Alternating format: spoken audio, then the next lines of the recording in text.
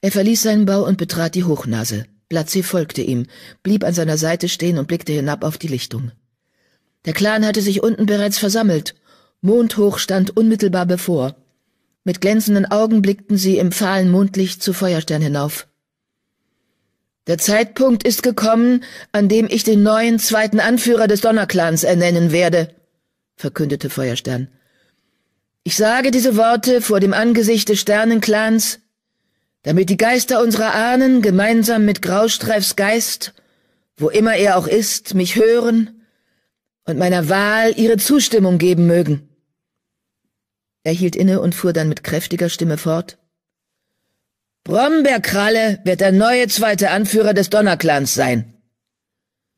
Unter den Katzen wurden überraschte Ausrufe laut. Was? Dieser herrische Fellball? rief Spinnenbein und trat dann peinlich berührt von einer Pfote auf die andere, weil er seinen Gedanken laut ausgesprochen hatte.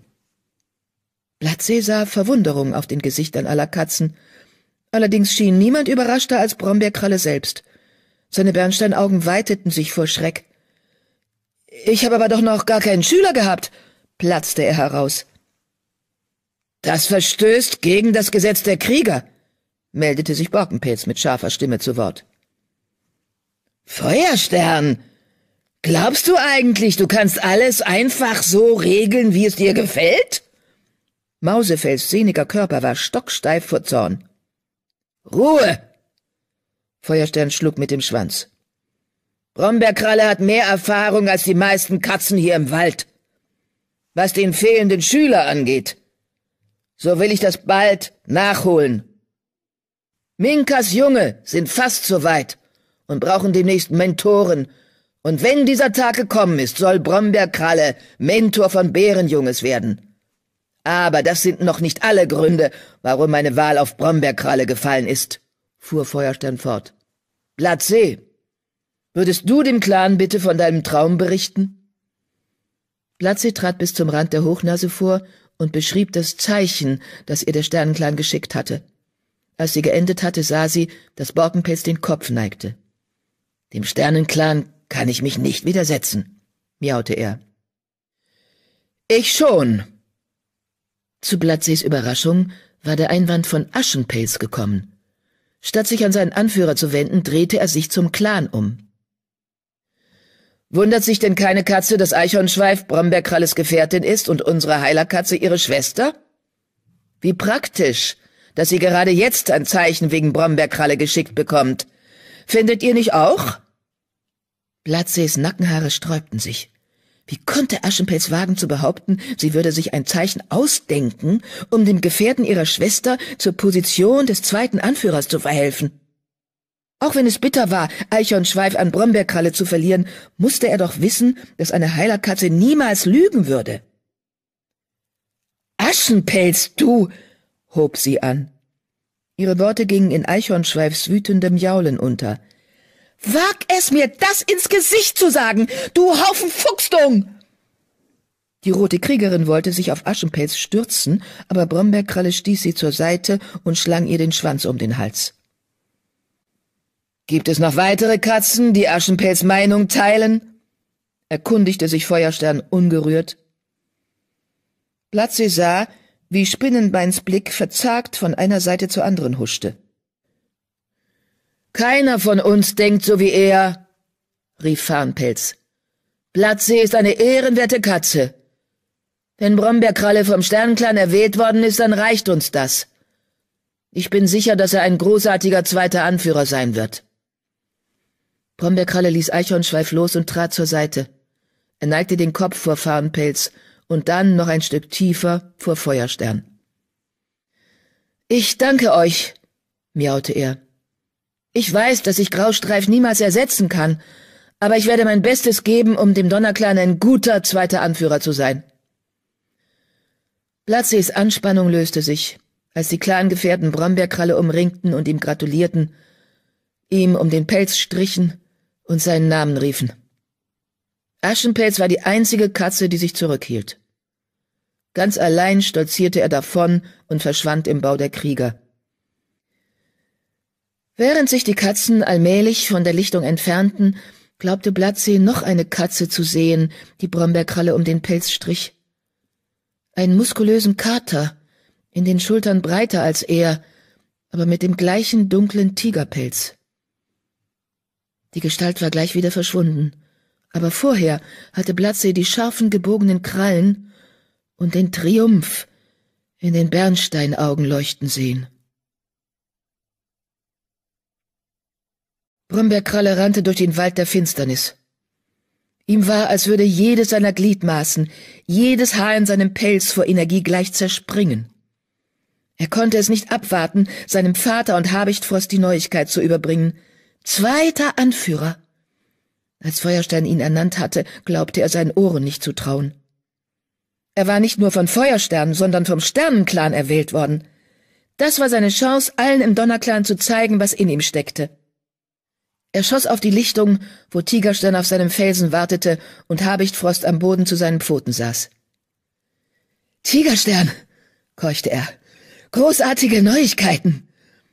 Tigerstern fixierte ihn mit seinen Bernsteinaugen, die vor Stolz und Genugtuung überquollen. Und Brombeerkralle wurde sofort klar, dass er bereits alles wusste. Zweiter Anführer des Donnerclans, miaute er. Das hast du gut gemacht. Zweiter Anführer, rief Habichtfrost. Brombeerkralle sah den Neid in den eisblauen Augen blitzen. Ohne einen Schüler? Der Sternenclan hat mich erwählt, erklärte Brombeerkralle. Die Krieger an haben Blatze ein Zeichen geschickt. Tigerstern wies ihn mit scharfer Stimme zurecht. Keine Katze spricht an diesem Ort vom Sternenclan. Du hast dir deine Position aus eigener Kraft erkämpft, und alles, was du von mir gelernt hast, hat dir dabei geholfen. Er sah ihn so finster an, dass sich Brombeerkralle zusammenreißen musste, um nicht zurückzuweichen. Dann wandte Tigerstern sich an Habichtfrost. Was dich betrifft. Deine Zeit wird auch noch kommen. Habichtfrost zog die Lippen zurück und zeigte seine scharfen Zähne. Das bezweifle ich. Manchmal kommt es mir so vor, als wollten Leopardenstern und Nebelfuß noch ewig leben. Tigerstern peitschte mit dem Schwanz. Keiner meiner Söhne wird sich geschlagen geben. Leopardenstein ist die älteste unter den Anführern. Und wen außer dir sollte Nebelfluss dann zum zweiten Anführer ernennen, wenn Leopardenstern zum Sternenklang gegangen ist? Habichtfrost nickte. Glückwunsch, miaute er seinem Halbbruder zu. Danke, antwortete Brombeerkralle. Ich bin sicher, dass du auch bald dran bist. Genug davon, miaute Tigerstern mit einem Schwanzschnippen. Es gibt noch einiges für uns zu planen. Ihr beiden seid dafür bestimmt, den ganzen Wald zu regieren. Und dann wird jede Katze tun, was ihr sagt. Habichtfrost bekam leuchtende Augen, aber Brombeerkralle wich einen Schritt zurück. Wovon redete Tigerstern da? Wie meinst du das? fragte er. Wie soll... Fauchend schnitt Tigerstern ihm das Wort ab. Wenn ihr erst beide Anführer seid, wird Habichtfrost den Schattenclan zusammen mit dem Flussclan übernehmen. Sie werden ihn willkommen heißen, weil ich einmal ihr Anführer war und er mein Sohn ist. Und du, Brummerkralle, wirst den Windclan und den Donnerclan anführen. Aber Kurzstern ist doch Anführer des Windclans, protestierte Brombeerkralle. Außerdem sind sie dem Donnerclan seit vielen Blattwechseln wohlgesonnen. Tigersterns Schwanzspitze zuckte. Gerade deshalb wird es ganz einfach sein, ihren Clan zu übernehmen. Diese schwächlichen Narren im Windclan sind so daran gewöhnt, sich vom Donnerclan befehlen zu lassen, dass sie den Unterschied kaum merken werden. Brombeerkralle sah erschreckt zu seinem Vater auf. Es hat aber doch immer vier Clans im Wald gegeben, warf er ein. Damals im alten Wald war das so. Aber jetzt ist alles anders. Und so ist es vielleicht auch Zeit für diese Änderung. Es wird sich ändern, wenn ihr stark genug seid. Einige Herzschläge lang ließ sich Brombeerkralle von den Zukunftsvisionen seines Vaters mitreißen. Er hatte das Zeug zu einem guten Anführer, das wusste er. Der Sternenclan hatte ihn zum zweiten Anführer erwählt, was vielleicht nur der erste winzige Pfotenschritt war auf seinem Weg in eine glorreiche Zukunft. Natürlich sind wir stark genug, miaute Habichtfrost. Auf der nächsten großen Versammlung sollten wir uns darauf konzentrieren, Freundschaften mit unseren zukünftigen Clangefährten zu schließen, damit sie auf unserer Seite sind, wenn wir sie später übernehmen. Überhaupt wäre eine große Versammlung die Gelegenheit, die Macht zu übernehmen, fuhr Habichtforst mit leuchtenden Augen fort. Brombeerkralle, wenn wir beide erstmal Anführer unserer Clans geworden sind, brauchen wir nur zur großen Versammlung unsere stärksten Katzen mitzunehmen. Katzen, die ohne zu fragen eure Befehle ausführen, warf Tigerstern nickend ein. Genau. Und dann töten wir die anderen beiden Anführer und übernehmen ihre Clans, solange alle auf der Insel festsitzen. Was? Brombeerkralles Nackenhaare sträubten sich. Auf einer großen Versammlung? Ha! Das macht die Sache doch so einfach, erklärte Habichtforst. Keine Katze ist dort auf Schwierigkeiten vorbereitet. Und zwei kräftige Krieger reichen völlig aus, um die Baumbrücke zu bewachen, fügte Tigerstern hinzu. Keine Katze kann entkommen. Brombeerkralle trat noch einen Schritt zurück. Wie könnt ihr nur ein Mordkomplott auf einer großen Versammlung in Erwägung ziehen? Der Sternenclan wird uns nie vergeben, wenn wir ihre Waffenruhe brechen. Alles ist machbar. Tigersterns Stimme grollte tief in seiner Brust. Seine Bernsteinaugen fixierten Brombeerkralle mit einem unheilvollen Blick. Aus dir wird nie ein mächtiger Anführer, wenn du vor dem Sternenclan kuscht. Oder dich davor fürchtest, dir die Pfoten blutig zu machen. Ich hab keine Angst, konterte Brombeerkralle. Trotzdem werde ich auf der großen Versammlung nicht töten. Habichtfrost trottete zu Brombeerkralle und legte ihm den Schwanz um die Schultern. Leg dein Fell wieder an, miaute er. Es war bloß eine Idee. Wenn sie dir nicht gefällt, gibt's auch andere Wege. Das kann ich nur hoffen. Brombeerkralle hätte das Thema am liebsten beendet, traute sich aber nicht, es offen zu sagen oder auch nur zu denken, solange ihn Tigerstern mit seinem unheimlichen Blick fixierte. Wir sollten über diese Angelegenheit in Ruhe reden. Brombeerkralle zuckte zusammen, als sein Halbbruder offen aussprach, was er gerade gedacht hatte. Warum treffen wir uns nicht in der Wachenwelt? Das kann eigentlich nicht schaden, beschloss Brombeerkralle. Einverstanden, miaute er. Was schlägst du vor? In deinem Territorium, antwortete Habichtfrost. Ich komme wahrscheinlich leichter weg als du, nachdem du jetzt zweiter Anführer bist. Brombeerkralle nickte. Gleich hinter der Schattenklangrenze endet der Wald direkt am See. Dort treffen wir uns.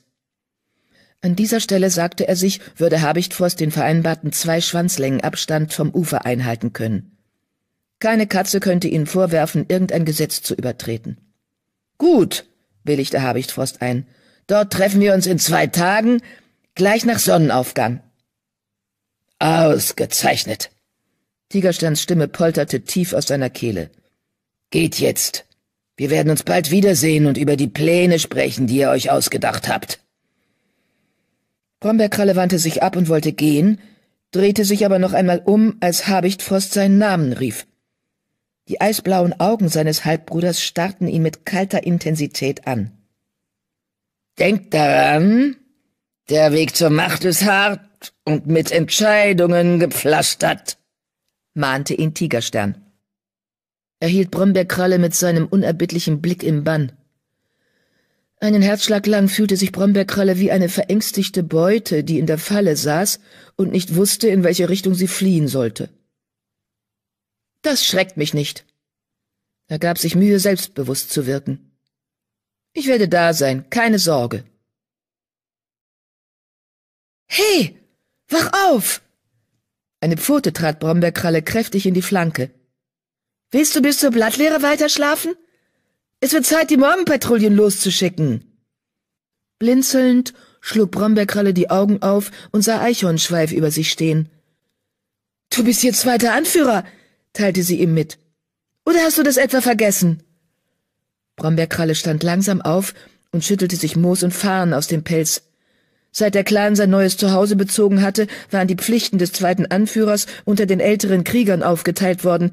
Jetzt ruhten sie wieder ganz allein auf seinen Schultern. Das schaffe ich schon, redete er sich zu. Fahles Licht breitete sich bereits im Bau der Krieger aus. Die Morgenpatrouillen würden unverzüglich aufbrechen müssen. Gut, miaute Brombeerkralle. Ich werde die Morgenpatrouille anführen. Eichhornschweif, kommst du mit? Wolkenschweif, dich nehmen wir auch mit. Und Regenpelz. Wolkenschweif riss das Maul auf und gähnte ausgiebig. Sandsturm, fuhr er fort, würdest du bitte eine Jagdpatrouille einteilen? Die hellbraune Kätzin neigte zustimmend den Kopf. Zwei wären besser, findest du nicht? schlug sie vor. Welche Katze möchtest du gern an der Spitze der zweiten sehen? Äh, Bockenpelz? Brombeerkralle hätte sich nicht gewundert, wenn der getigerte Kater verärgert reagiert hätte, weil er von einer jüngeren Katze herumkommandiert wurde, aber er streckte sich bloß und murmelte, geht in Ordnung. Weißt du, Brombeerkralle, miaute Sandsturm mit einer Spur von Belustigung in der Stimme, du musst dir keine Sorgen machen, wenn du uns Befehle erteilst. Du bist der zweite Anführer und dann ist das eben so. Danke, antwortete Brombeerkralle. Aus tiefster Überzeugung fügte er hinzu, Solange ich genug Atem habe, um für meinen Clan zu kämpfen, werde ich meinem Clan loyal zur Seite stehen. Insgeheim wiederholte er die letzten Worte für sich, während er seine Patrouille durch den Dornentunnel führte und die Böschung hinauf zur Schattenklangrenze. Genau so war es. Nichts lag ihm mehr am Herzen als das Wohlergehen des Donnerclans. Er würde jeder Katze im Wald zeigen, was für ein guter zweiter Anführer er sein konnte. Die Morgenpatrouille kehrte gerade ins Lager zurück, als die ersten Jagdpatrouillen mit Beute eintrafen. Brombeerkralle beauftragte Birkenpfote und Weißpfote, die Ältesten zu versorgen, dann Feuerstern und Blattsee. Anschließend rief er die übrigen Katzen zu sich und machte sich daran, Patrouillen für den folgenden Tag einzuteilen. Er wollte sich kein zweites Mal so blamieren wie an diesem Morgen. Außerdem war er dann frei für sein Treffen mit Habichtfrost. Brombeerkralle sagte gerade etwas, da kam Bärenjunges aus der Kinderstube gesaust und blieb direkt vor ihm stehen. Ich will auch auf Patrouille gehen, verkündete er.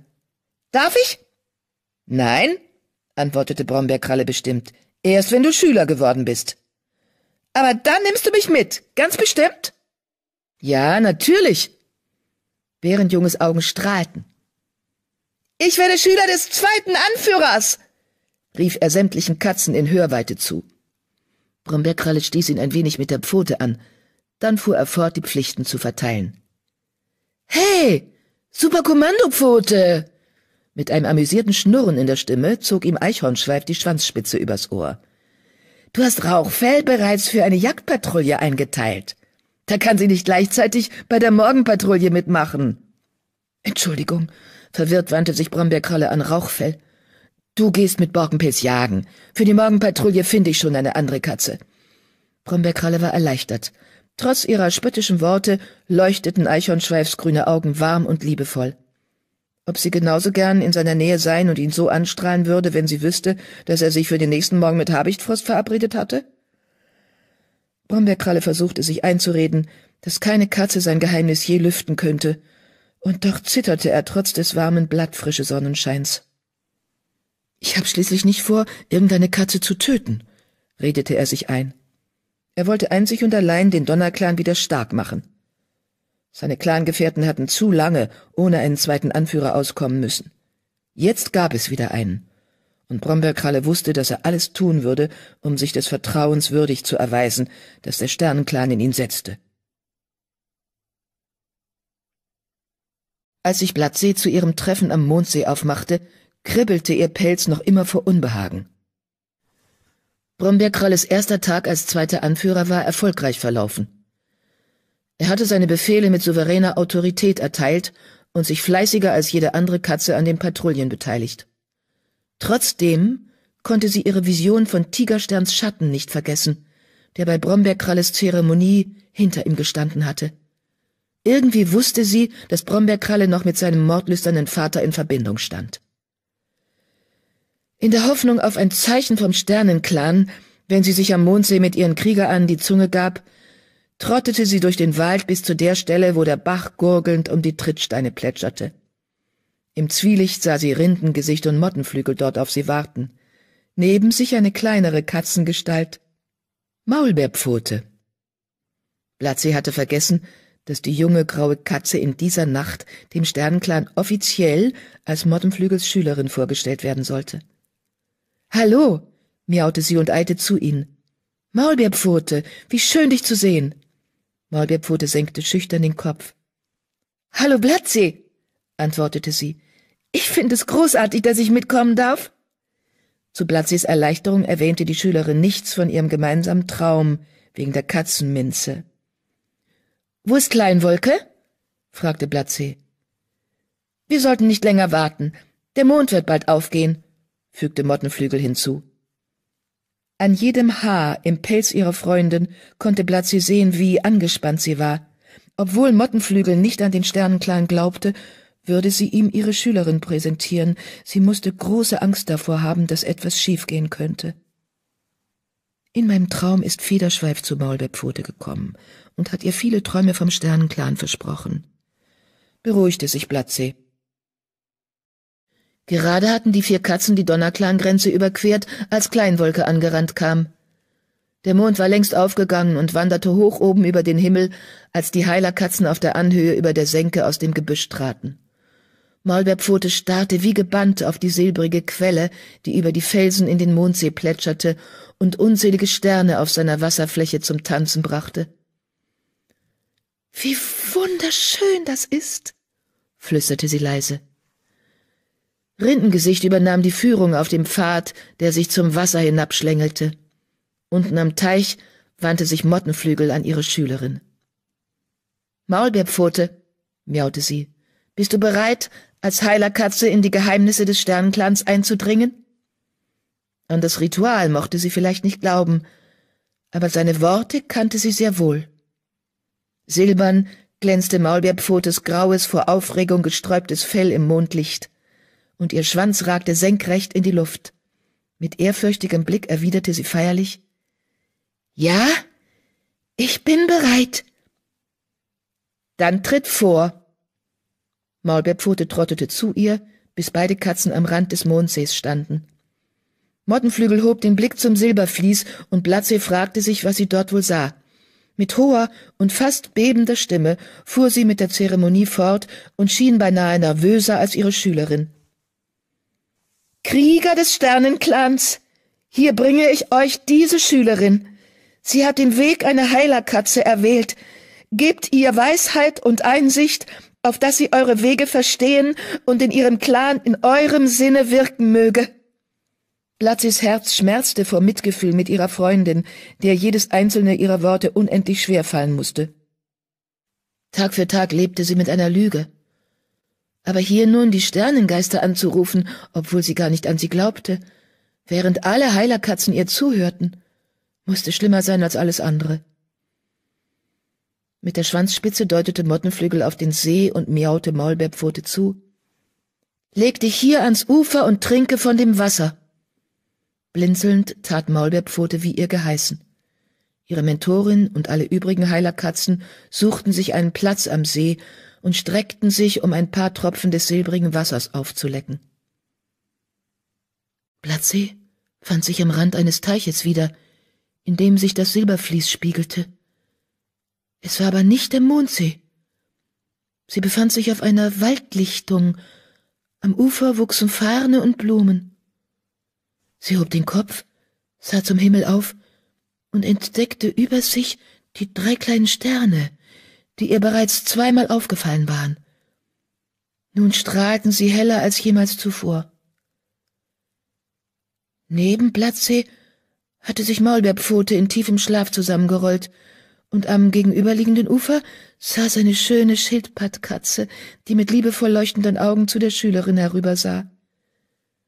Tüpfelblatt! rief Blatze. Ich bin so froh, dass du da bist. Kannst du mir erklären, was diese drei Sterne bedeuten? Dass es drei tote Krieger sind, kann ich mir denken, aber ich weiß nicht, wer sie sein könnten. Tüpfelblatt schüttelte den Kopf. Die Sterne sind ein Zeichen, mein Liebes.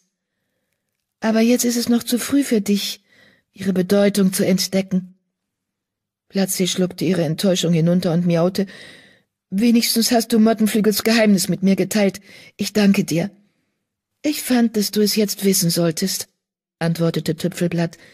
Sie wird deine Unterstützung brauchen. Ich habe ihr noch nichts davon gesagt, miaute Blattsee. Findest du, dass ich es tun sollte? Tüpfelblatt leckte ihr liebevoll das Ohr. Nur wenn du es willst. Oder wenn Mottenflügel selbst davon anfängt. Du solltest sie aber darin bestätigen, dass sie eine gute Heilerkatze ist. Das fällt mir leicht, miaute Blattsee. Mottenflügel verabscheut die Lügen, zu denen sie von Habichtfrost gezwungen wird. Tüpfelblatt nickte, und ein Schatten zog über ihre schönen Augen. Habichtfrosts Schicksal liegt in den Pfoten des Sternenclans, sagte sie leise. Sie erhob sich und Blattsee folgte ihr um den Teich herum bis zu der schlafenden Schülerin. Der Sternenclan dankt dir, fuhr Tüpfelblatt fort, für die Hilfe, die du Maulbeerpfote gewährt hast. Ich weiß, dass du über deinen Teil ihrer Ausbildung nicht sprechen wirst. Du hast bereits bewiesen, dass du schweigen kannst. Vielen Dank, Tüpfelblatt, miaute Blattsee. Zögernd fuhr sie fort. Wenn ich doch nur Rußpelz sehen könnte. Sie kommt nie zu mir, und dabei fehlt sie mir so sehr. Tüpfelblatt legte Blattsee tröstend die Schnauze auf den Kopf, und sie fühlte sich wieder wie ein kleines Junges, beschützt und geborgen bei ihrer Mutter in der Kinderstube. Rußpelz ist dir viel näher, als du denkst. Komm, ich zeige es dir, schnurrte Tüpfelblatt. Platzi folgte der anderen Katze in ihren Pfotenschritten über die Lichtung und zwischen die Bäume. Als plötzlich die Dornenbarriere mit dem Eingang zum Donnerklanlager vor ihr auftauchte, merkte sie, dass sie sich wieder in dem ihr vertrauten Wald befand. Warum hast du mich hierher geführt? fragte sie. Tüpfelblatt antwortete nicht. Sie betrat den Dornentunnel und lief weiter bis zur Kinderstube. Dann führte sie Blattpfote in die hinterste Ecke, wo Ampferschweif ruhte. Ihre vier Jungen hatten ihre Schnauzen tief im Bauchfell ihrer Mutter geborgen. Drei Junge schliefen, aber Ruhs Junges hob den Kopf und öffnete blinzelnd ihre blauen Augen. Sie sah Blatze so eindringlich an, dass sie den Blick nicht abwenden konnte. Verstehst du jetzt? schnurrte Tüpfelblatt. Das. Oh, das kann nicht sein, flüsterte Blattsee. Es ist wahr, versicherte er Tüpfelblatt. Vielen Dank, Tüpfelblatt, hauchte Blattsee. Aber jetzt müssen wir zurück, miaute Tüpfelblatt, und Maulbeerpfote endlich zur Heilerkatze machen. Ruhs Junges gähnte und zeigte ihre rosa Zunge und ihre winzigen spitzen Zähne. Dann fielen ihr die Augen wieder zu, und sie kuschelte sich dicht an den Pelz ihrer Mutter. Blattsee konnte den warmen Jungengeruch tief in sich aufnehmen. Dann folgte sie Tüpfelblatt aus der Kinderstube. Leb wohl, Ruß Pelz, dachte sie, während die Dornenranken hinter ihr zusammenfielen. Maulbeerpfote lag immer noch schlafend am Wasser. Tüpfelblatt trat zu ihr und blies ihr sacht ins Ohr. Blinzelnd erwachte die Schülerin, hob den Kopf und sah die ehemalige Heilerkatze an. Du bist eine Sternenklankriegerin, nicht wahr? miaute sie. Ja, das bin ich, meine Kleine. Mein Name ist Tüpfelblatt, und hier ist deine Freundin Blattsee. Maulbeerpfote erhob sich taumelnd auf die Pfoten. Hallo, Blattsee. Ist Mottenflügel bei dir? fügte sie hinzu und blickte sich um. Nein, in diesem Traum wirst du ihr nicht begegnen, antwortete Tüpfelblatt. Wo sind wir? Was tun wir hier? fragte Maulbeerpfote. Wir sind hier, weil wir ein Zeichen des Sternenclans mit dir teilen wollen. Bist du bereit? Maulbeerpfotes Augen strahlten. Ja! Wohin deine Pfoten dich auch tragen mögen, du wirst nie allein sein, erklärte er Tüpfelblatt. Sie bedeutete Maulbeerpfote mit der Schwanzspitze aus dem See zu trinken. Was siehst du? Fragte Tüpfelblatt. Auf der glatten Wasseroberfläche spiegelten sich die Sterne. Dann wurde ihr Licht allmählich immer matter, und Platzi sah graue Wolken, die sich unten im Wasser zusammenballten. Ein heftiger kalter Wind kam auf, rüttelte an den Bäumen und wirbelte Schaumkronen über den See. Er zauste Blatzis Pelz, bis sie ihre Krallen tief in die Erde bohrte, um nicht fortgeweht zu werden. Maulbeerpfote jaulte neben ihr erschrocken auf. Fürchte dich nicht! Tüpfelblatts Miauen übertönte das Rauschen des Windes. Hier wird dir nichts geschehen. Blattsee kniff die Augen fest zusammen. Der Wind wehte immer stärker, und sie meinte, ihr würden die Krallen aus der Erde gerissen. Doch dann wachte sie auf und lag mit immer noch klopfendem Herzen am Ufer des Mondsees. Über ihr zog der Mond an einem klaren Himmel seine Bahn, und kein Lüftchen störte die glatte Wasserfläche. Maulbeerpfote hockte mit geschlossenen Augen am Wasserrand. Ihr Atem ging leicht und flach. In einiger Entfernung wandelten Kleinwolke und Rindengesicht immer noch in ihren Träumen. Mottenflügel saß an Maulbeerpfotes Seite und starrte gebannt auf die Wasseroberfläche. Sie sah gequält aus, und Blatze meinte, das Herz müsse ihr vor Mitleid zerspringen. Mottenflügel, miaute sie leise und vergaß ihre Vision von dem Sturm. Mottenflügel drehte den Kopf und sah sie an. Ich hab schreckliche Angst, flüsterte sie. Glaubst du, sie wird die richtige Art von Traum haben? Wie soll sie Heilerkatze werden, wenn ihre Mentorin nicht an den Sternenklang glaubt? Glatze stand auf und ging um die schlafende Schülerin herum zu ihrer Freundin, schmiegte sich an sie und leckte ihr das Ohr, um sie zu trösten. Tüpfelblatt war bei ihr, versicherte sie Mottenflügel. Und ich auch. Blatze presste sie fest an sich und hätte ihr gern mit der Zuversicht ihres eigenen Glaubens Halt gegeben. Wirst schon sehen. Es wird alles gut. Mottenflügel rückte von ihr weg. Nein, nein, das kann nicht sein. Ach, Blatze, ich kann nicht mehr länger lügen. Ich muss es dir erzählen. Mit weit aufgerissenen Bernsteinaugen sah sie Blatze an.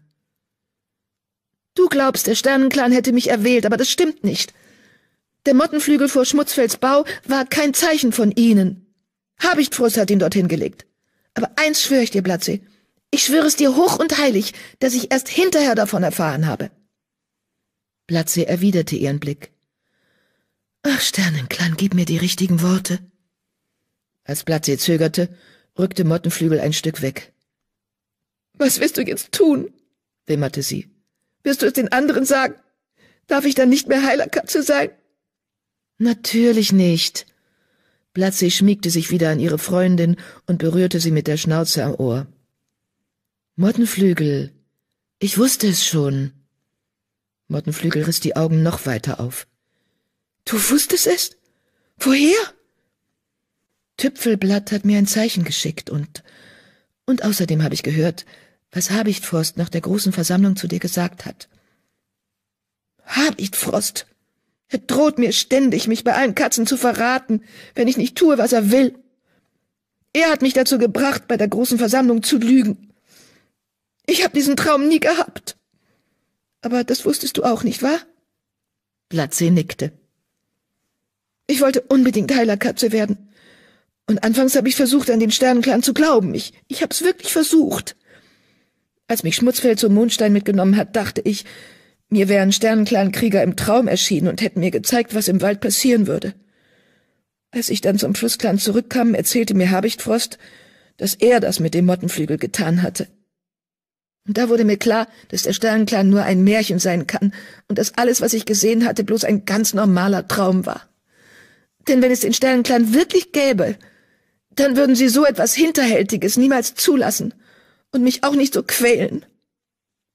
Blatze strich Mottenflügel mit der Schwanzspitze über die Schulter. Ist schon gut, sagte sie leise. Glaub mir, alles wird gut. Wie denn? protestierte Mottenflügel. Ich hätte von Anfang an jeder Katze die Wahrheit sagen sollen. Aber ich konnte mich von meinem Traum als Heilerkatze nicht verabschieden. Ich mach das so gern. Und ich will nur meinen Clangefährten helfen. Wenn ich ihnen jetzt sage, was passiert ist, dann verjagen sie mich.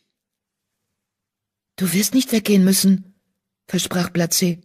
Von Tüpfelblatt weiß ich, dass der Sternenclan will, dass du hier bleibst und tust, was du immer getan hast. Sie halten dich für eine sehr gute Heilerkatze, die ihren Platz am Mondsee verdient hat. Ein Herzschlag lang glomm ein Hoffnungsschimmer in Mottenflügels Augen. Dann schüttelte sie den Kopf. Es ist lieb von dir, dass du das sagst, seufzte sie. Wenn du wirklich meinst, ich sollte weitermachen, dann tue ich es. Nur, wie soll ich Maulbeerpfote richtig ausbilden? Ich weiß nicht, was ich ihr vom Sternenclan erzählen soll. Aber ich weiß es, erklärte Blattsee. Von mir wird sie alles erfahren, was sie über die Krieger an wissen muss. Und ich werde sie in ihren Träumen begleiten. Und du zeigst ihr alle Kräuter und erklärst ihr, wofür sie verwendet werden. Sie wird eine hervorragende Schülerin sein. Mottenflügel hob den Kopf. Ich werde es versuchen. Ich werde nicht mehr auf Habichtfrost hören. Ich werde ihm sagen, dass ihn keine Katze zum zweiten Anführer ernennen wird, wenn sie erfahren, dass er das Zeichen vom Sternenclan erfunden hat. Das ist eine gute Idee, miaute Blattsee. Aber nimm dich in Acht. Maulbeerpfote wachte auf, sprang mit einem Satz auf die Pfoten und kam auf den moosbedeckten Steinen zu ihrer Mentorin gelaufen. Das war richtig unheimlich, aber ganz toll, rief sie aus und ergänzte dann leiser, Schade, dass du nicht dabei warst. Blatsees Respekt für die Schülerin wuchs. Maulbeerpfote hatte offensichtlich verstanden, dass Mottenflügel sich nicht mit dem Sternenclan traf. Ich hätte dich wirklich gern begleitet, antwortete Mottenflügel. Vielleicht kommst du ein anderes Mal mit? miaute Maulbeerpfote. Platzi, was glaubst du, wie wir das Zeichen deuten müssen? fragte Maulbeerpfote ängstlich. Sturmwolken. Glaubst du, unseren Clans steht Ärger bevor? Mit einem Seitenblick auf Rindengesicht und Kleinwolke versicherte sich Blatze, dass die beiden nichts gehört hatten und legte Maulbeerpfote schnell den Schwanz über die Schnauze. Heilerkatzen sprechen nicht über ihre Zeichen, erklärte sie. Es sei denn, sie wollen ihren Clans die Bedeutung erklären. Ja, ich glaube, dass Schwierigkeiten auftauchen werden, fügte sie hinzu. Aber vielleicht ist es besser, noch keiner Katze etwas davon zu erzählen. Als Blatze die Senke auf dem gewundenen Pfad verließ, schickte sie dem Sternenklein ein stilles Dankesgebet, weil Mottenflügel das Vertrauen aufgebracht hatte, ihr von Habichtfrosts falschen Zeichen zu erzählen. Brombeerkralle stand auf der Lichtung und sah den Jagdpatrouillen nach, die gerade im Dornentunnel verschwanden. Ein fahler, blassblauer Himmel hing über den Bäumen und versprach einen warmen Tag. Bald würde die Sonne aufgehen. Der getigerte Kater sah sich prüfend um, ob er auch keine seiner Pflichten vergessen hatte. Hinter ihm raschelten die Zweige am Bau der Krieger. Er drehte sich um und sah Aschenpelz herausschlüpfen. Brombeerkralle trottete zu ihm hinüber. Weißpfote begleitete ihren Mentor Farnpelz bei einer Jagdpatrouille, so dass die Schüler heute nicht zusammen trainieren würden. Wo ist Birkenpfote? fragte er. Jetzt wäre eine gute Gelegenheit für eine Trainingsstunde. Aschenpelz kniff die Augen zusammen. Ich kann meinen Schüler selbst ausbilden, miaute er. Ich werde ihm heute eine Prüfungsaufgabe stellen. Ja, das ist gut, antwortete Brombeerkralle. Erinnere ihn noch einmal an die Fuchsfallen, nur zur Sicherheit. Ohne zu antworten, stolzierte Aschenpelz Richtung Schülerbau davon. Birkenpfote trat heraus, als sein Mentor ihn rief und lauschte seinen Instruktionen. Schließlich hüpfte Birkenpfote mit steil aufgerichtetem Schwanz davon. Aschenpelz warf Brombeerkralle noch einen bösen Seitenblick zu, dann folgte er seinem Schüler. Brombeerkralle sagte sich, dass er etwas taktvoller hätte vorgehen können, allerdings würde er Aschenpelz, wenn er sein Verhalten nicht änderte, irgendwann zum Mäusegalle sammeln für die Zecken der Ältesten einteilen. Plötzlich erstarrte Brombeerkralle. Er war so sehr in seine Pflichten als zweiter Anführer vertieft gewesen, dass er sein Treffen mit Habichtfrost fast vergessen hätte. Sonnenaufgang stand unmittelbar bevor. Er würde zu spät kommen. Er wollte sich gerade zum Dornentunnel aufmachen, als er Eichhornschweifs Stimme hinter seinem Rücken hörte. Hallo, Brombeerkralle. Wo gehst du hin? Eichhornschweif war zu keiner der früheren Patrouillen eingeteilt worden. Sie würde nicht verstehen, warum er keine Zeit für sie hatte, obwohl er selbst auch keine Patrouille begleitete. Wo willst du hin? fragte sie noch einmal. Jagen? Wir könnten zusammengehen. Äh, ich muss erst, ähm, hob Brombeerkralle zögernd an.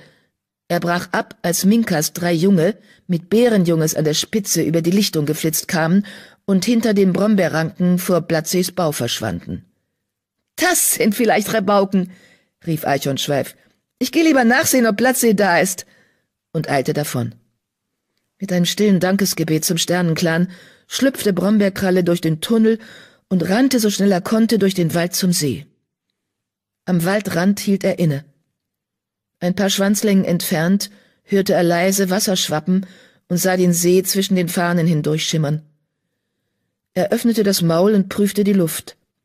Er glaubte Flussklangeruch zu erkennen und überraschenderweise auch eine Spur vom Schattenclan, sah seinen Halbbruder aber nicht. Habichtfrost? rief er leise.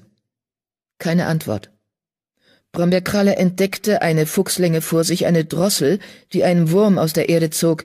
Sie erinnerte ihn daran, dass er an diesem Morgen noch nichts gegessen hatte, also ließ er sich instinktiv ins Jagdkauern sinken.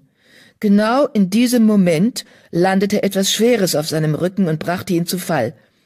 Er jaulte erschrocken auf, worauf die Drossel laut schimpfend davonflog. Brombeerkralle wirbelte zu seinem Angreifer herum und starrte Habichtfrost ins Gesicht, der mit spöttisch funkelnden, eisblauen Augen auf ihn herabsah. Was soll das denn? fauchte Brombeerkralle. Willst du unbedingt jede Katze im Wald wissen lassen, dass du hier bist? Habichtfrost machte ein gleichgültiges Gesicht. Ist doch egal, ich darf mich hier aufhalten, solange ich mich nicht vom Ufer entferne. Brombeerkralle kam auf die Pfoten und leckte sich den zerzausten Pelz. Komm ins Farnkraut, miaute er und winkte Habichtfrost mit der Schwanzspitze herbei.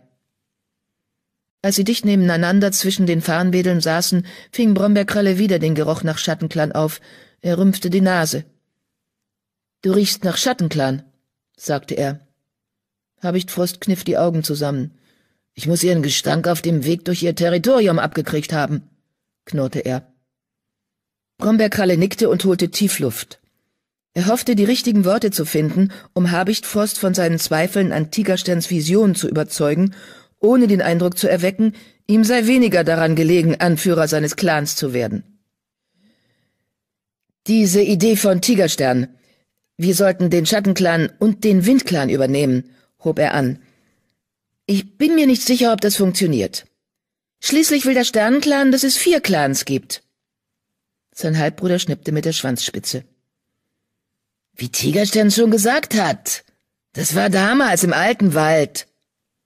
Denk nach, Brombeerkralle. Der Schattenclan ist schon immer lästig gewesen. Meinst du nicht auch, dass es uns allen besser gehen würde, wenn endlich Ruhe einkehrte, unter einem Anführer, der dafür sorgt, dass sie das Gesetz der Krieger einhalten? Und findest du nicht auch, dass du einen besseren Anführer abgeben würdest als Kurzstern? Wir beide zusammen könnten dafür sorgen, dass jede Katze im Wald stark und glücklich ist. Keine Kriege mehr, kein Gerangel um Territorien. Naja, kann schon sein. Gegen das Zukunftsbild, das Habichtfrost vor ihm aufzeichnete, wusste Brombeerkralle nichts zu sagen, er dachte an die Schattenclan-Krieger, die sich nicht um Bärenjunges gekümmert hatten, als es in der Fuchsfalle saß und um Hilfe schrie. Wenn ich das Sagen hätte, dachte er, würde keine Katze jemals tatenlos zusehen, wie ein Junges Schmerzen leidet, unabhängig davon, wo das Junge hingehört. Er war um das Wohl jeder Katze im Wald besorgt, aber an allererster Stelle wollte er das Beste für den Donnerclan. Aber ein leiser Schrei unterbrach ihn. Was war das? Habichtfrost rührte sich nicht. Da wird wohl eine Beute Pech gehabt haben. Der Schrei wiederholte sich. Nein, rief Brombeerkralle. Das ist eine Katze in Not. Komm mit. Er tauchte unter den Farnwedeln hindurch und schoss am Ufer entlang dem Schrei nach. Er hörte ihn noch einmal. näher aber schwächer. Einen entsetzlich erstickten Schrei. Brombeerkralle setzte über die Wurzeln eines Baumes hinweg und sah sich Feuerstern gegenüber. Der Anführer des Donnerclans lag auf der Seite neben einem schmalen Pfad zwischen dichten Farnwedeln. Seine Beine zuckten wild und sein starrer Blick ging ins Leere. Schaum klebte an seiner Schnauze. Um seinen Hals, in seinem flammend roten Pelz kaum zu sehen, lag eine dünne, glänzende Ranke, die zu einem Stock in der Erde führte. Feuerstern war in eine Fuchsfalle geraten. Brombeerkralle setzte zum Sprung an, um ihm zu helfen, wurde aber von Habichtfrosts mächtiger Schulter beiseite gestoßen. Mäusehirn! fauchte der Flussclankrieger. Das ist eine Chance, Brombeerkralle. Du bist jetzt zweiter Anführer. Wenn Feuerstern stirbt, wirst du den Clan führen. Brombeerkralle starrte ihn erstaunt an. Was meinte er nur damit? Dann hörte er, dass Feuerstern etwas sagen wollte. Birkenpfote hat ausgerichtet, Schwarzstern wartet in unserem Territorium, äh, äh, sollte allein hingehen. Mit einem triumphierenden Funkeln in den Augen trottete Habichtfrost zu Feuerstern und beugte sich vor. Schwarzstern ist aber nicht hier.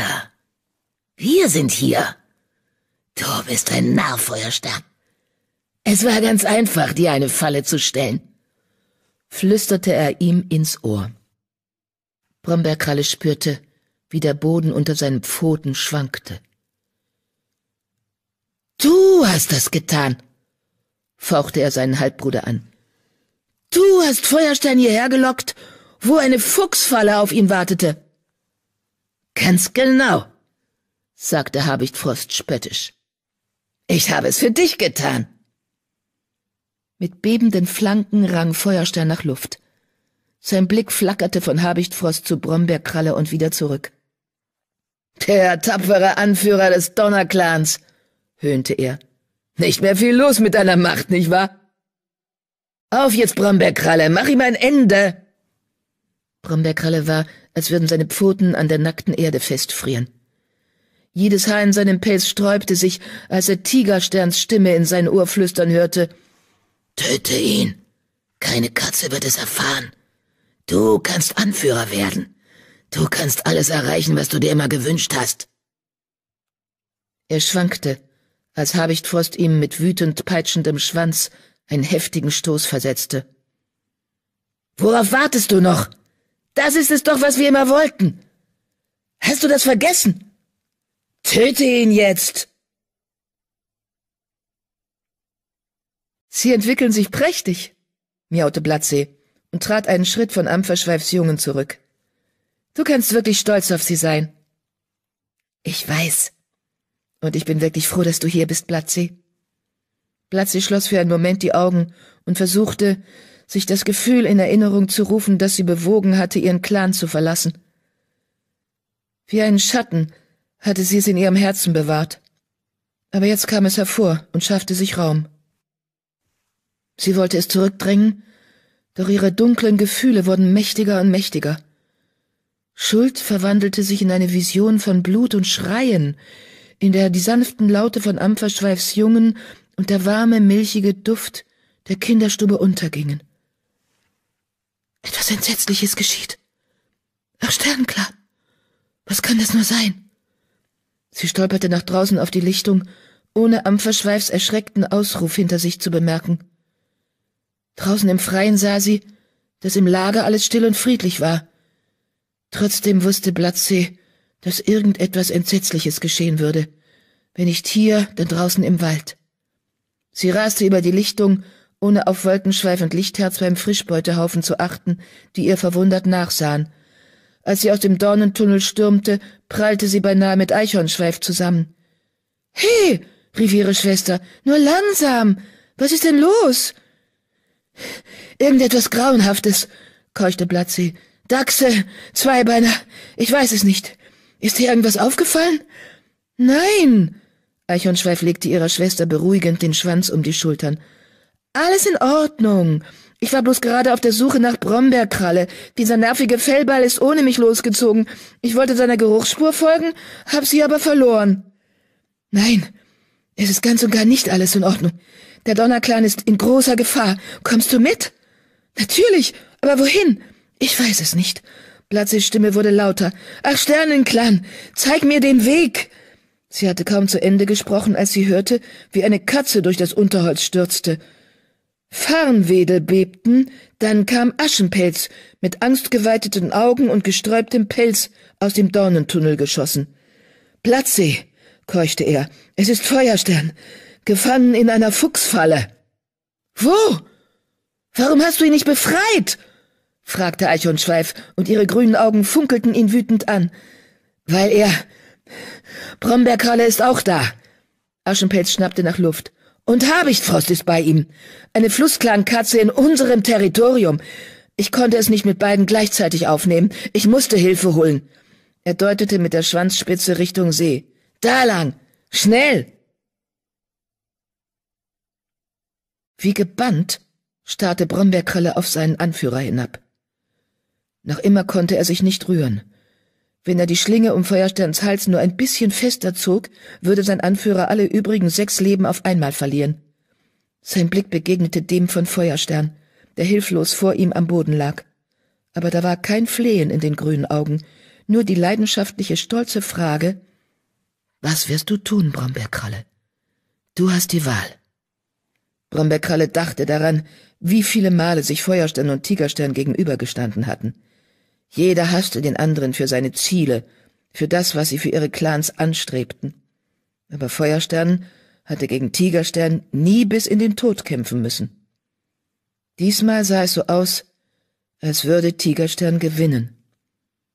Brombeerkralle spürte den Geist seines Vaters dicht an seiner Seite, der ihn bedrängte. Narr! Töte ihn jetzt! Brombeerkralle schloss die Augen. Sechs Leben, flüsterte er. Sechs Leben standen zwischen ihm und seiner Ernennung zum Anführer des Donnerclans. So ist es, fauchte Habichtfrost. Dies ist eine Chance, dich an Feuerstern für den Tod unseres Vaters zu rächen. Rache? Brombeerkralle riss seine Augen von Feuerstern los und starrte seinen Halbbruder an. Hier ging es nicht um Rache. Er wusste sehr gut, dass Tigerstern ganz freiwillig seine Pfoten auf den Pfad gesetzt hatte, der zu seinem gewalttätigen Tod geführt hatte. Nichts wünsche ich mir mehr als Anführer meines Clans zu werden, dachte er, aber nicht so. Seine Loyalität galt nicht nur dem Donnerclan, sondern auch Feuerstern, der sein Mentor gewesen war, der ihn trotz seines Vaters akzeptiert hatte und ihm am Ende so sehr vertraute, dass er ihn zum zweiten Anführer ernannte. Nein, miaute er Habichtfrost zu, wobei er verwundert bemerkte, wie stark und unerschütterlich seine Stimme klang. Ich werde es nicht tun. Mit einem Satz sprang er an Feuersterns Seite und begann, wild in der Erde zu graben, um den Stock zu lockern, der die Ranke um den Hals seines Anführers zuzog. Nicht bewegen, Feuerstern, keuchte er, während die Erdbrocken flogen. Noch einen Herzschlag. Dann habe ich dich befreit. Lautes Protestgeheul dröhnte in seinen Ohren. Ob es Habichtfrost war oder Tigersterns rachsüchtiger Geist, konnte er nicht sagen. Habichtfrost stürzte sich auf ihn, rammte ihn von der Seite, warf ihn um und begrub ihn unter sich. Seine eisblauen Augen blitzten Brombeerkralle wütend an. Feigling, knurrte er, geh weg! Wenn es sein muss, dann töte ich ihn eben selbst. Niemals! Brombeerkralle trat Habichtfrost mit den Hinterpfoten so fest er konnte in den Bauch und schleuderte ihn von sich. Während sich sein Halbbruder am Boden wand, sprang Brombeerkralle zu dem Stock und packte ihn mit den Zähnen. Seine vorherigen Bemühungen hatten ihn gelockert. Jetzt kam er frei, und die Ranke um Feuersterns Hals löste sich. Er hörte, wie sein Anführer einen tiefen Atemzug tat. Wütendes Knurren hinter sich ließ ihn gerade noch rechtzeitig herumwirbeln, während Habichtfrost ihn erneut angriff. Brombeerkralle ließ den Stock fallen und wich zur Seite aus. Mit einem Satz sprang er wieder herum und sah eine kalte Flamme in den eisblauen Augen der Flussklankatze lodern. Verräter! fauchte Habichtfrost. Wie kannst du nur alle Pläne verraten, die unser Vater für uns gemacht hat? Du warst nie stark genug, um so zu sein wie er. Ich will gar nicht so sein wie er, konterte Brombeerkralle. Dann bist du ein Narr, höhnte Habichtfrost. Und noch dazu dumm.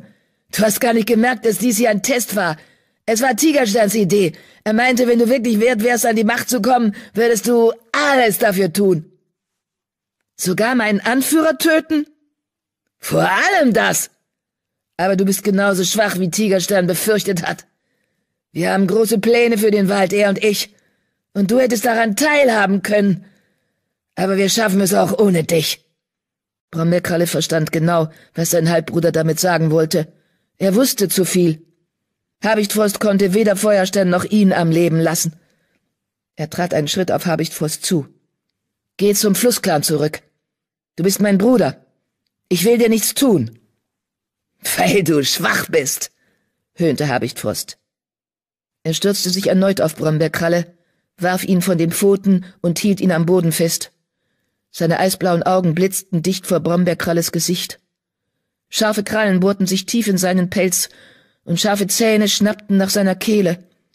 Mit aller Kraft und nur einen Herzschlag von seinem Tod entfernt, holte Brombeerkralle mit den Hinterläufen nach Habichtfrosts Bauch aus. Er wälzte sich von einer Seite auf die andere und spürte dabei den Stock von der Fuchsfalle zur Hälfte unter seiner Schulter liegen, reckte den Hals und schaffte es, ihn mit den Zähnen zu packen. Als Habichtfrost sich auf ihn stürzte, warf er den Stock herum und spürte, wie er sich mit seinem spitzen Ende tief in Habichtfrosts Hals bohrte. Mit einem unheimlichen gurgelnden Laut erstarrte Habichtfrost. Dann sank er schlaff und schwer auf Brombeerkralles Brust nieder. Voller Entsetzen kämpfte sich Brombeerkralle unter dem Körper seines Halbbruders hervor und ließ den Stock los. Aus einer zerfetzten Wunde in Habichtfrosts Kehle sprudelte leuchtend rotes Blut heraus auf den Boden und breitete sich schneller und immer schneller Richtung Seeufer aus. Habichtfrost, keuchte Brombeerkralle. Ich. Das habe ich nicht gewollt. Wundersamerweise konnte sich Habichtfrost auf die Pfoten stemmen und kam auf ihn zugetorkelt. Du Narr! keuchte er, und das Blut sprudelte noch schneller aus seiner furchterregenden Wunde. Glaubst du, ich hätte mir das allein ausgedacht? Glaubst du, du wärst in deinem eigenen Clan in Sicherheit? Er hustete, spuckte Blut und fügte dann hinzu. Denk darüber nach. Was? Brombeerkralle trat einen Schritt näher, und seine Pfoten traten in die rote Lache. Wollte Habichtfrost einen Donnerclan-Krieger beschuldigen, der Feuerstern diese Falle gestellt haben sollte? Was meinst du damit? Sag es mir, Habichtfrost. Wen meinst du damit? Aber das kalte Feuer in Habichtfrosts Augen erlosch. Er wandte sich von Brombeerkralle ab, taumelte ein paar Schritte weiter und brach am Seeufer zusammen, wo er mit den Hinterläufen im Wasser liegen blieb. Winzige Wellen schwappten über seinen Körper, und sein Blut breitete sich aus wie eine scharlachrote Wolke. Brombeerkralle starrte entsetzt auf ihn hinab. Da war noch so vieles, das er wissen musste. Aber Habichtfrost war tot. Einen Moment lang hallte die Stimme seines Bruders leise in seinen Ohren. Wir sehen uns wieder, mein Bruder. Es ist noch nicht vorbei. Brombeerkralle, Feuerstern lag noch immer auf der Seite, und Blut aus seiner Halswunde bedeckte seinen Pelz.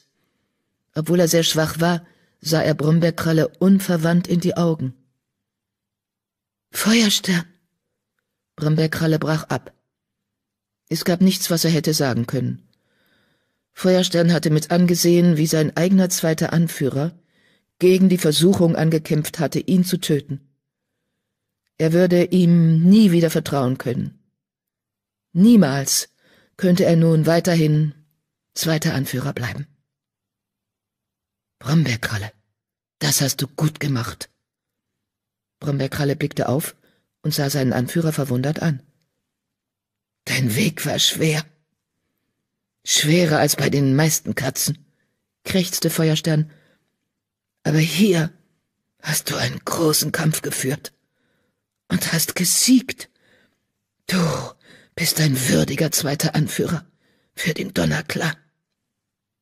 Erschöpft ließ er den Kopf sinken und schloss die Augen. Brombeerkralle stand da und blickte auf ihn hinab. An seinen Pfoten klebte noch immer das Blut seines Halbbruders. Hier habe ich gesiegt, dachte er. Aber was wird mein Vater mir jetzt antun? Eichhornschweif schlug mit dem Schwanz. Geh ins Lager, befahl sie Aschenpelz. Du musst mehr Hilfe holen. Sie hatte noch nicht zu Ende gesprochen, als Blatzi bereits durch das Unterholz rannte, ohne sich um die Brombeerranken zu kümmern, die sich in ihrem Pelz verhakten. Eichhornschweif jagte ihr nach. Schulter an Schulter setzten sie ihren Weg fort. Keine von beiden sagte etwas. Aschenpelz Angstgeruch hatte eine kräftige Spur hinterlassen, die ihnen die Richtung wies. Blatzis Magen hob sich. Jetzt verstand sie, vor welcher Gefahr sie mit ihrer Vorahnung in der Kinderstube gewarnt worden war. Ihr Misstrauen gegen Brombeerkralle rollte wie eine gewaltige Woge auf sie zu und drohte sie davonzutragen. Der getigerte Krieger war stark und mutig, aber Tigersterns unheilvollem Einfluss würde er sich kaum widersetzen können. Bevor der See in Sicht kam, wehte ihr bereits Katzengeruch und der viel stärkere Gestank nach frischem Blut entgegen. Sie kam jetzt ganz nah beim Ufer zum Halt. Vor ihr lag Feuerstern auf der Seite und rührte sich nicht. Brombeerkralle stand über ihm, seine Pfoten blutüberströmt. Ich hatte recht. Brombeerkralle ist ein Verräter. Er hat meinen Vater getötet, damit er Anführer werden kann. Bevor sie etwas sagen konnte, bewegte sich Feuerstern und schlug die Augen auf. Platzi, flüsterte er. Alles ist gut. Habichtfrost hat mir eine Falle gestellt. Aber Brombeerkralle hat ihn getötet. Er zog ein Vorderbein zur Seite unter dem die zerstörte Fuchsfalle zum Vorschein kam. Als Platzi näher hinsah, entdeckte sie, dass sein Hals zwar üble Schrammen abbekommen hatte, die aber nicht stark bluteten. Das Blut am Brombeerkralles Pfoten stammte nicht von ihrem Vater. Eichhornschweif stürzte am Platzi vorbei, kauerte an der anderen Seite ihres Vaters nieder, um ihn von den Ohren bis zur Schwanzspitze zu beschnuppern. Danke dir, Brombeerkralle, Du hast ihm das Leben gerettet. Brombeerkralle blinzelte, als hätte er sie eben erst bemerkt. Jede andere Katze hätte das gleiche getan. Platzsee ging an ihrem Vater vorbei und fühlte das Blut feucht und klebrig zwischen ihren Zehen aufquellen. Wo kommt das viele Blut bloß her? Eine Spur führte durch den Farn zum Seeufer, wo zertretene Wedel am Boden klebten, blutgetränkt. Am Ende der Spur sah Blatze Habichtfrosts getigerten Körper reglos im seichten Wasser liegen. Aus einer Wunde an seiner Kehle lief noch immer Blut in den See, breitete sich dort wie eine Wolke aus und schwamm als leuchtend roter Fleck auf der Wasseroberfläche. Wellen schwappten träge ans Ufer und färbten den Kies rot. Blut wird Blut vergießen und rot in den See fließen. Erst dann kehrt Frieden ein, flüsterte sie. Endlich verstand Platzi. Brombeerkralle und Habichtfrost waren Brüder. Blut hatte Blut vergossen. Brombeerkralle hatte seinen Halbbruder getötet, um Feuerstern zu retten. Mit Habichtfrost hatte sie recht gehabt. Er war zu ehrgeizig, seinem Vater Tigerstern zu ähnlich. Aber sie hätte nie gedacht, dass Brombeerkralle die Katze sein würde, die ihm ein Ende setzte. Lange Zeit hatte die Prophezeiung sie in ihren Pfotenspuren verfolgt. Nun war sie endlich erfüllt. Jetzt konnten die Clans dem versprochenen Frieden entgegensehen. Und da Habichtfrost jetzt tot war, konnte er Mottenflügel mit seinen Kontrollversuchen nicht mehr ängstigen. Das Geheimnis um das Mottenflügelzeichen würde für immer gewahrt bleiben. Platzi wandte sich von Habichtfrosts Leiche ab und kehrte zu ihrem Vater und Eichhornschweif zurück. Auf Eichhornschweifs Schulter gestützt, war es Feuerstein gelungen, sich aufzusetzen. Brombeerkralle stand schweigend und noch immer wie gelähmt vor Schreck neben ihnen. Er hatte noch nicht einmal versucht, seine Pfoten von Habichtfrosts Blut zu reinigen. Es ist vorbei, sagte Blatze leise zu ihm. Sie straffte die Schultern und hielt ihr Gesicht der aufgehenden Sonne entgegen. Es ist vorbei.